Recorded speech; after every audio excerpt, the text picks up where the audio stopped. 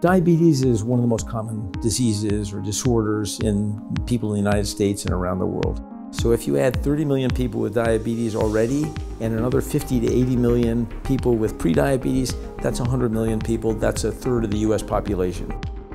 All of these people need more beta cells. It's a big problem. The real hands-on person in this uh, story is, is a wonderful graduate student and now postdoctoral fellow named Courtney Ackeifi. I am extremely excited to be a part of this remarkable breakthrough. We have been able to make a big leap forward in beta cell regenerative medicine and I identified GLP-1 receptor agonists as a class of drugs that can synergize with harmine and other DYRK1A inhibitors to induce very high levels of beta cell proliferation. So beta cells are cells that make insulin, and so all diabetes, type 1 diabetes and type 2 diabetes, results from the, the simple fact that there aren't enough beta cells to make enough insulin.